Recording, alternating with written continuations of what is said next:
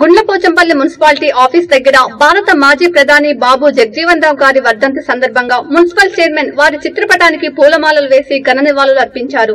అలాగే మైసమ్మగూడలో అర్ధహారంలో భాగంగా మొక్కలు నాటే కార్యక్రమానికి ముఖ్య అతిథిగా మంత్రి మల్లారెడ్డి గారి తనయుడు మహేందర్ రెడ్డి గారు హాజరై మొక్కలు నాటడం జరిగింది. ఈ కార్యక్రమంలో మున్సిపల్ చైర్మన్ మద్దుల లక్ష్మీ శ్రీనివాసరెడ్డి మాట్లాడుతూ హరితహారంలో పాల్గొనడం ప్రతి ఒక్క పౌరుడు హక్కు అని తెలిపారు. ఈ కార్యక్రమంలో municipal chairman Maddula Lakshmi Srinivasa Reddy vice chairman Prabhakar commissioner Amarender Reddy రాష్ట్ర టీఆర్ఎస్ సీనియర్ నాయకులు మద్దుల శ్రీనివాస్ రెడ్డి స్థానిక కౌన్సిలర్లు పెంటయ్య ముదిరాజ్ మల్లికార్జున ముదిరాజ్ వీణా సురేందర్ రెడ్డి జయపాల్ రెడ్డి హేమంత్ రెడ్డి సాయిపేట శ్రీనివాస్ సుధాకర్ నరేందర్ రెడ్డి అధికారులు మరియు టీఆర్ఎస్ నాయకులు పాల్గొన్నారు.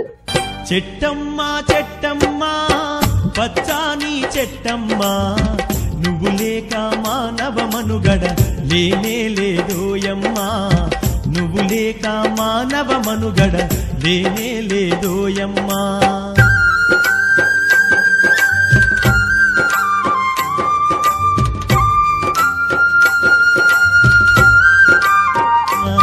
నరులారా గురులారా ఓ పండిత పామరులారా ఆయురారోగ్యమునిచ్చే చెట్టు కథను విన్నారా? పరిమళించ పచ్చని చెట్లు అంతరించిపోతున్నాయి. పరిమళించే పచ్చని చెట్లు అంతరించిపోతున్నాయి. పర్యావరణాన్ని మనము రక్షించక ముందుకు పోదాం.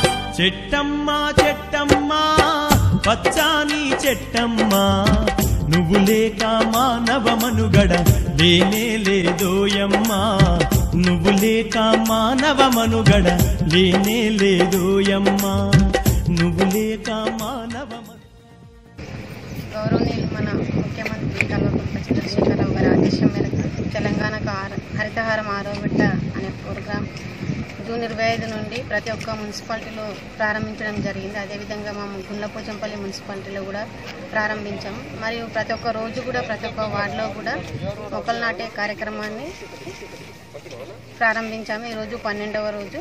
ఆ మొక్కలు నాటడమే కాకుండా ప్రతి ఇంటికి కూడా ఆరు మొక్కలను కూడా ఇవ్వడం జరుగుతుంది.